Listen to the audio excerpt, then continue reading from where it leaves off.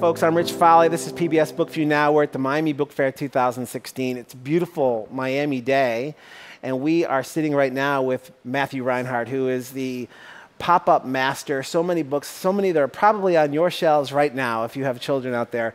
Star Wars, Game of Thrones, my personal favorite, I think, Cinderella, My Little Pony, uh, the Lego one that's sitting here, and a brand new one. Frozen. Frozen, yes. And everybody who knows, you know, these books knows that, like, you know, you open a Matthew Reinhart book and they sort of explode out into the world. Well, yeah, that's what we want to do. Like, I want to, I want to make something. I want you to be surprised on every single page. It's, it's amazing. And this is more than just a pop up, obviously. You're a paper engineer. Yes. I've seen some videos and I've seen some of your work and how you put it all together, but sort of figuring out how paper folds and where the bends and bows are and figuring out how to make it go higher and higher and higher out of the book. Yeah, really yeah. Speaking out. of, yeah, like something like this. Yeah, it's it's a long process. Like that gets super tall. Yeah. Right. um, so something like this, you know, a book like this will probably take me about five to six months. You Yeah. know, from from the initial concept to you know final version.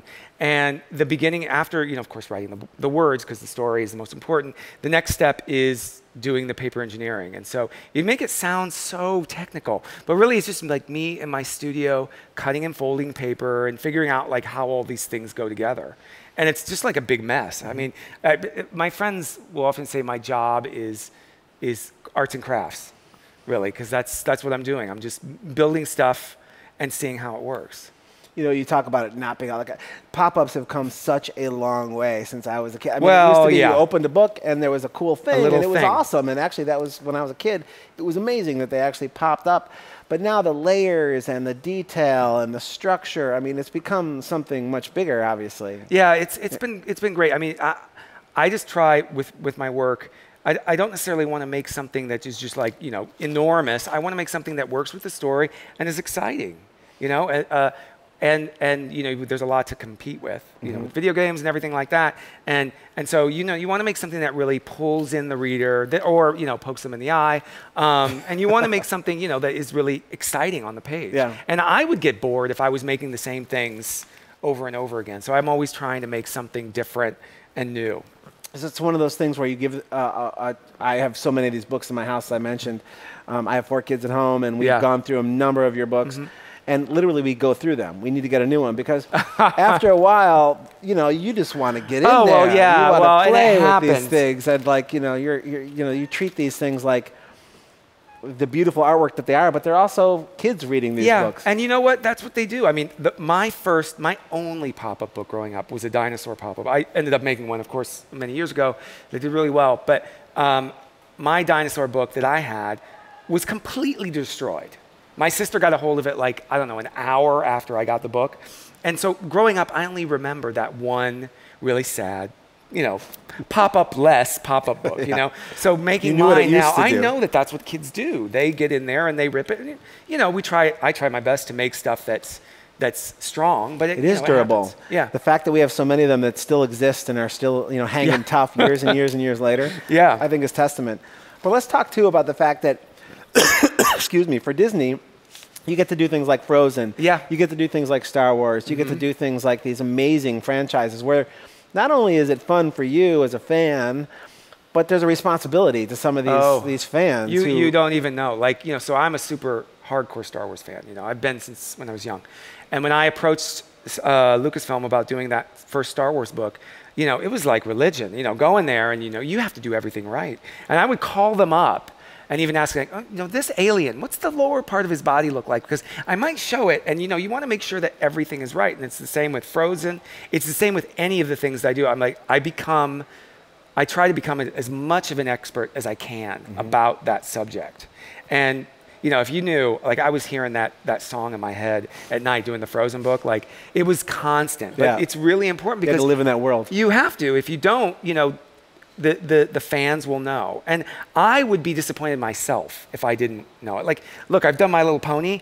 I became a brony. There you go. For six months, like I was, I read all, you, You, know, I watched all, become a brony for six months. well, You're a brony for, life, for life. I'm a brony for life. No, I really actually am. But it's, but I'm into these things. Like I really am. I'm a fan, and I'm a total geek, and I, you know, all these different characters, they're they're important to someone, and it's important for me to be able to portray mm. them correctly. So when you put these books together, you do this like this one master, this first one that becomes Mm-hmm. like sort of your prototype, and and you know what you want it to do. Take us for people who don't understand the whole process. Mm-hmm. How do you get from that to mass production, where you it just has to everything has to work right? Oh, yeah. I mean, you're doing one that's all manual. I mean, you're cutting and you're Mm-hmm. using your exacto. How do you get it from that point to where you're you're printing 10,000 of these or Yes. 20,000 or 100,000? Yeah, well, so, okay, so the whole process starts out, you know, I'm engineering all the pops, and once they're designed, you know, when, by hand, no computer program or anything like that, um, the next step is tracing all those pieces and refining that pop up over and over again. You know, something like this, this pop, I may have bu- built this at least 15 to 20 times um, before I got it just right. So once all those pieces are made and they're all refined, all, all, they're all traced, um, I'll give those, those piece shapes and all the artwork and send it to the manufacturer, and they will, they will start making prototypes. And throughout the entire time that it's being manufactured, and it's all handmade, like all of these books, each one of them has to be hand assembled. So um, they're sending me prototypes and I'm I'm checking them, making sure everything works right. So it's it's you know over at least six to eight months that I'm making sure that all this stuff is being done right. So it kind of goes from my hands to their hands building it, and then to to the readers, to the bookstores. now that you, they, they come out, you get your first one, you go through it.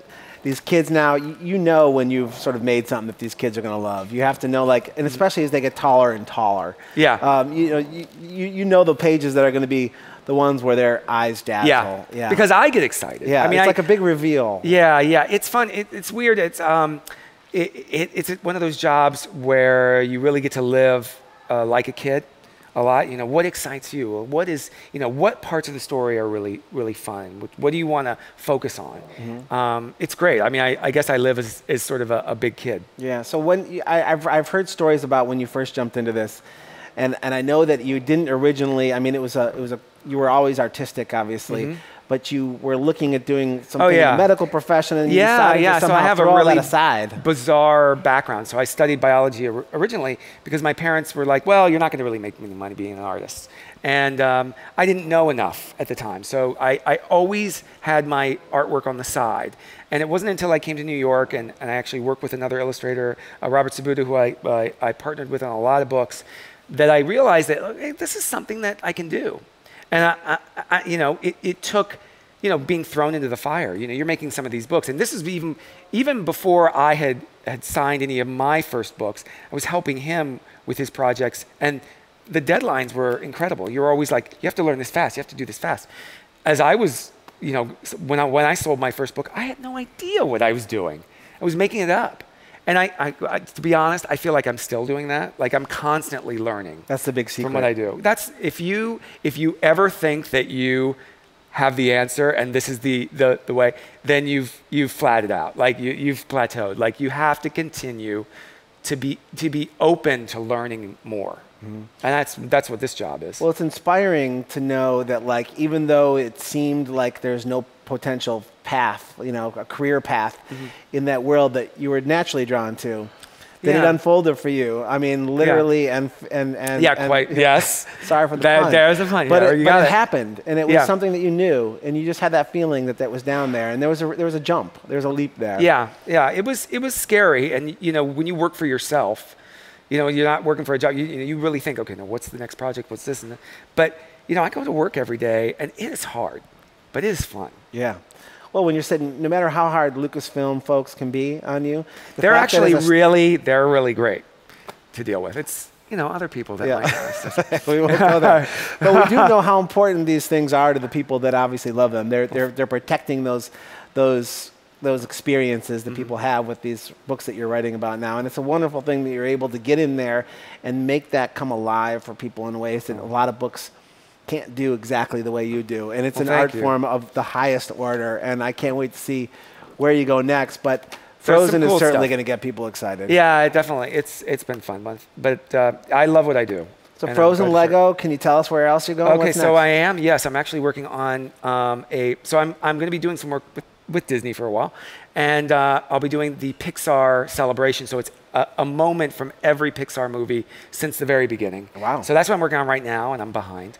Um, but You have to throw some Easter eggs in there. For all this. Oh, there will be. There will be because I know that there's there's a whole there's a whole um, inside joke about all the the the, the different movies and how they're supposed to be placed. So Yeah. that's part of it. I'm doing a history of Mickey Mouse in a couple years, which I cannot wait for because he's an icon. And I'm also doing something uh, Nightmare Before Christmas Very uh, in the future. So there's a lot. All right. Well, we're, we're thrilled that you're here. It's a really impressive career. Matthew Reinhart, Thank you. your you. newest, latest pop up Yes. extraordinaire is Frozen. Yes. Many more to come, obviously. It's so cool to have you. Thank you Good so luck, and- much. And, It I'm so impressed with everything you do. Oh, Thanks very much. Thank you.